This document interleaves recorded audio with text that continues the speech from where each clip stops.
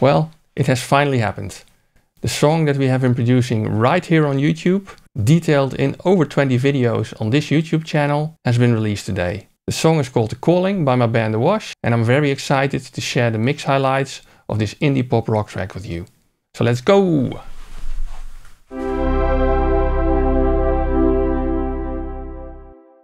So welcome to episode 21 in this new song production series, which is a series of videos right here on YouTube in which I share the details of a full new Wash song production from start to finish.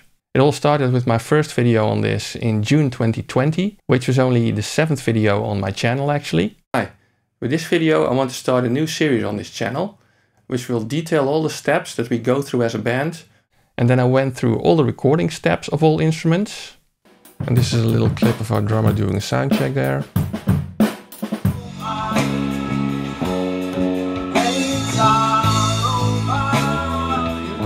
Unfortunately, I do not have footage of him recording the actual track.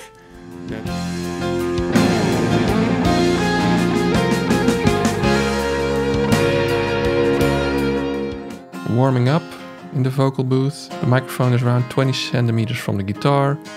Which point? I will stand up. I'll give it my best. I'll change my old habits. I then showed you how I went from recording to mixing. I went through all mixing steps of all instruments. After that, I'm going into a nice color compressor, which is the MJUC by Klanghelm. Probably one of my favorite software compressors of all.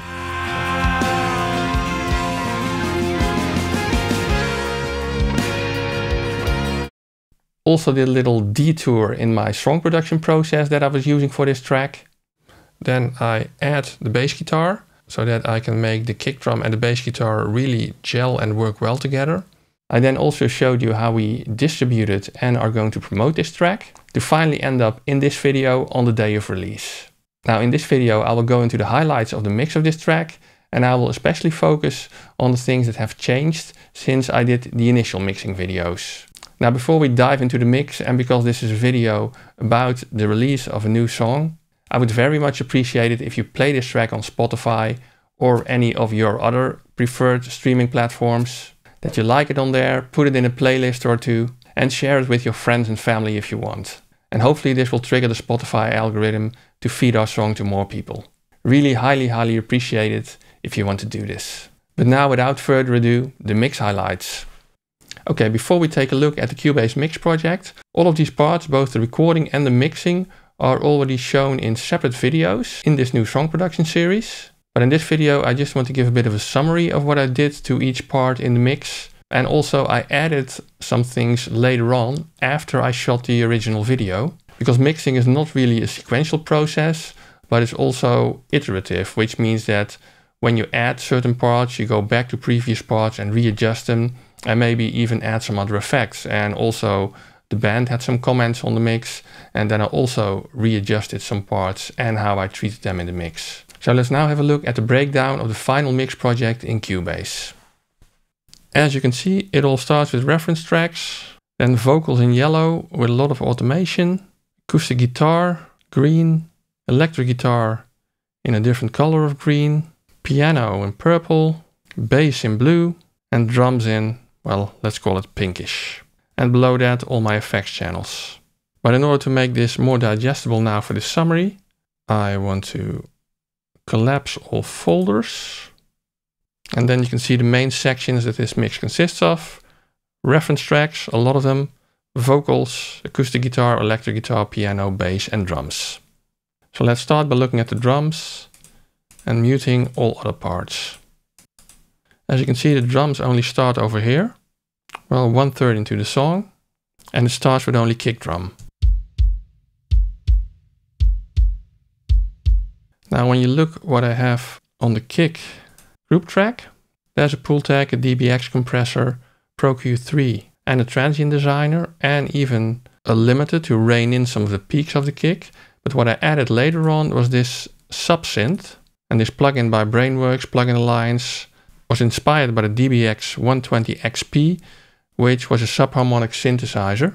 And this is a hardware box that is used to add subharmonic content, so very low frequencies. Because somewhere along the line I wanted to add a bit more real low low end to the mix, so I use this subharmonic synthesizer. Let's have a listen to the kick while I switch this plugin on and off.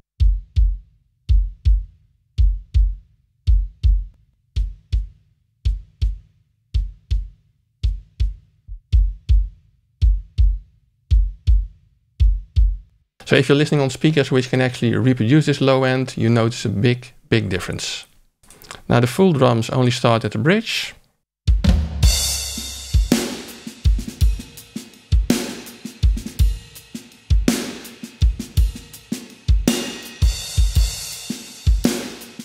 And a couple of things to notice about that is that I started using the BX SSL 4000E console quite a lot.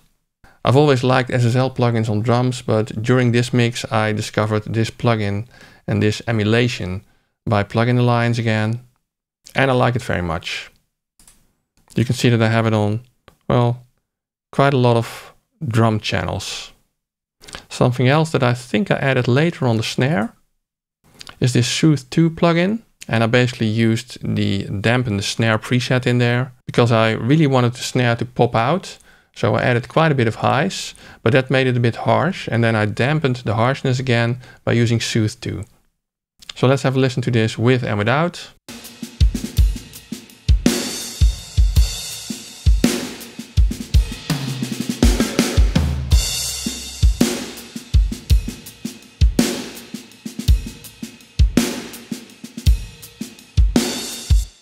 Yeah, to me it really improves the snare sound.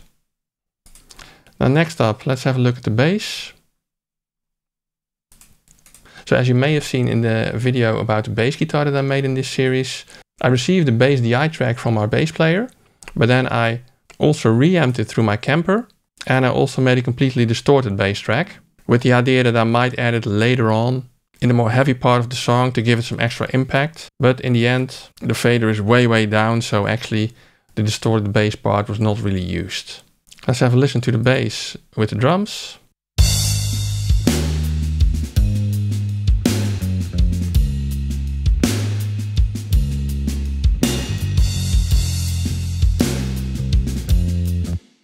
And in the beginning of the bass track there was a bit of an effect, but I panned it left, right, left, right to give it some extra impact when the bass starts in the track.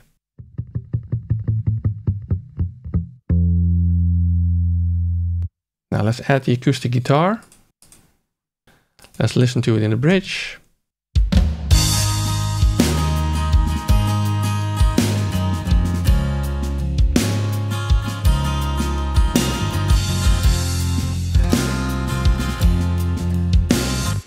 You can see that I panned it mostly to the right, which I do by default actually on a lot of the Awash mixes, where acoustic guitar is on the right and the piano goes on the left. And if you look at the processing, there is a Pro Q3 on there that I use to take out some of the resonances and boost the highs a bit. A fairly standard 1176 compressor, 8 to 1 compression ratio. And on the sends, aside from the standard reverbs that I use, I also put some Dimension D chorus to give it some extra movement and swirl. Let's listen to it in solo with and without the processing.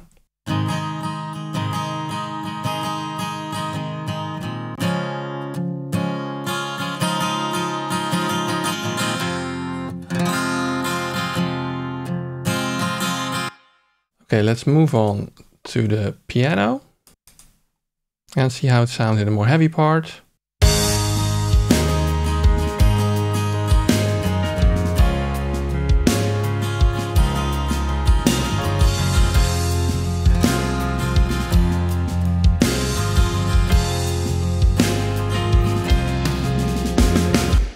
Like I just said, piano is mostly on the left and acoustic guitar is on the right. And a change that I did on the piano mix compared to what I initially showed in the video about the piano mix is that I added a parallel compression part to the more quiet parts of the piano. I multed out the piano so the loud part is on separate tracks as the quiet part. So this was the initial piano part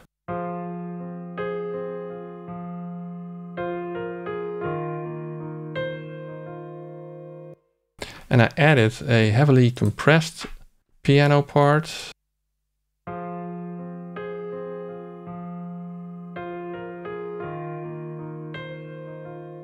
It's much more quiet, of course, than the main part, but together it causes a much more full piano sound, which is nice in the beginning when the piano is mostly playing by itself. So I'll switch between the piano part, including the parallel compression and without the parallel compression, starting without the parallel compression.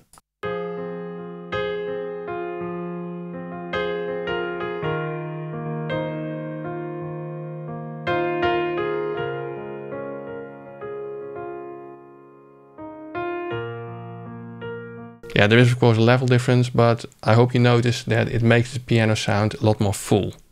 Let's move on to the electric guitar, my own instrument. So the song starts off with a very subtle line with a lot of delay.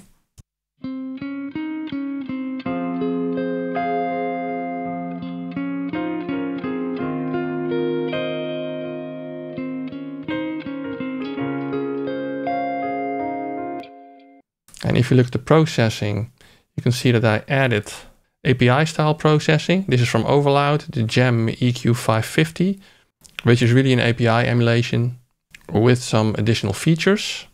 I tend to like APIs on electric guitars.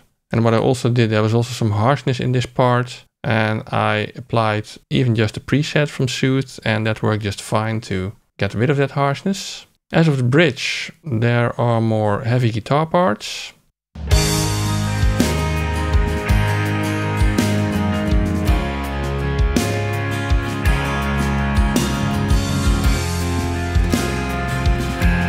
Yeah, the heavy guitar parts, electric guitars are panned left and right with some different sounds to make sure that you hear them in stereo and don't just hear them mono through the middle. And there's also a little earworm part in here, which is this one. Which I put a lot of effects on. It has some Saturn distortion. It has a Cubase metalizer and it has a Cubase chopper on there. And I think I've automated the chopper yeah, to make it gradually more chopping. And that's the same effect, but then on the other side. And if we listen to that in the full mix.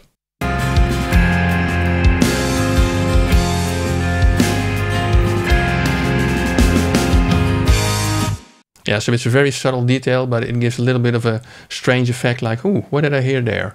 Just some extra interest in the track. And another notable guitar part, which is at the end, is a guitar solo over here.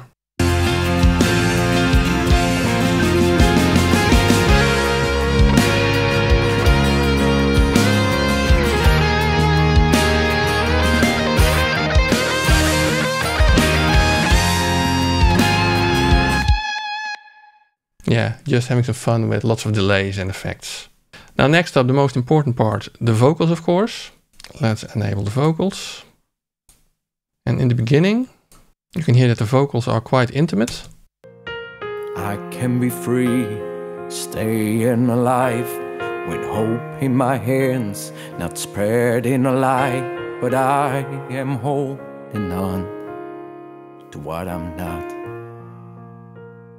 And the reverb on that vocal I added later actually. It's based on a trick that Marc Daniel Nelson recently showed in a video on the Produce Like a Pro channel. And I will link that video in the description if you want to have a look. My version of that effect is in the summary channel, Marc Daniel Nelson Vocal Huge. And if I go to that effects channel, you can see that there are three plugins on there. On the one hand, it's a timeless 3 delay. Then the LX480 Essentials plate, and then the Pro C2 compressor, which is triggered by the vocal via the sidechain, which basically causes this effect to be ducked when the vocal is actually singing. And when the vocal stops singing, you can really hear the reverb coming up. And my idea of that was is that the vocal could still be kept quite intimate, but in between the vocal lines you can hear the room coming up and still give a very spacious effect. Let's listen to that when soloing the vocal. I can be free, staying alive, with hope in my hands, not spreading a lie, but I am holding on to what I'm not. Yeah, you can really hear the reverb coming up after each vocal line. Now, as far as processing on the main vocal, I disabled my hardware compressor and equalizer, which was my Warm Audio 76 and my Warm Audio Pultec. And I replaced it by the software equivalents, the 1176 by UAD and the Pultec by UAD. It just gave me a more consistent sound with less noise, I found. And yeah, it sounded basically as well as the hardware inserts. I'm still using hardware inserts, but on the master bus. Now another thing that I did is use Soothe to get rid of some of the vocal harshness. Out of the dark, take me apart, ready to dive. I'm just trying to find the light. Yeah, to me, it really makes a difference. And it gets rid of some of those really nasty, sharp frequencies that I'm hearing in the vocal. You can also cut them out manually, of course, but this is just easier. Now, another thing that I used on the vocal to add some high end was Fresh Air by Slate, which I think it was a free plugin. I'm not sure that it's still free, but at the time they were giving away free licenses for this. So let's have a listen to what this brings. Out of the dark, take me apart, ready to dive. I'm just trying to find the light. And yeah, it just gives a bit of air on top. I also had a lot of automation for the Waves Vocal Rider.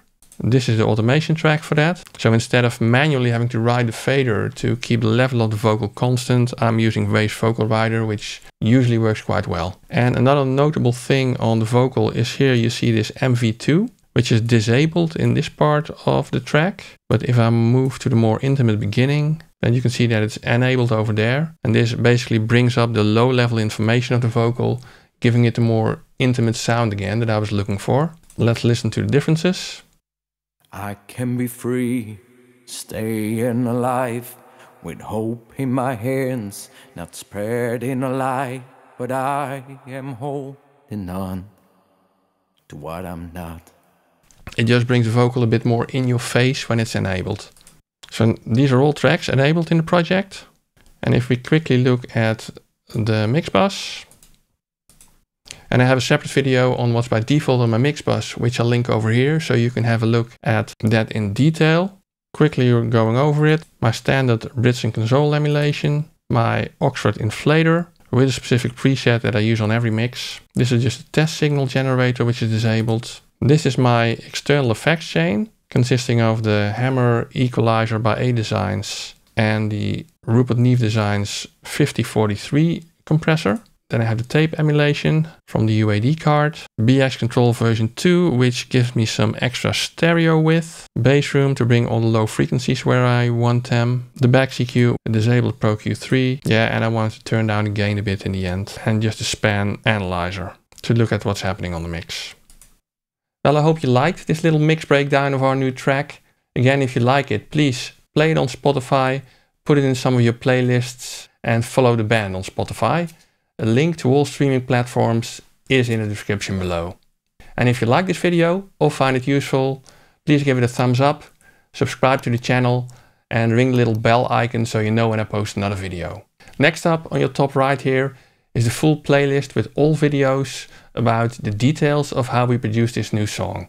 So have a look at that, enjoy, and see you soon. Out of the dark, take me apart, ready to dive. I'm just trying to find the light. And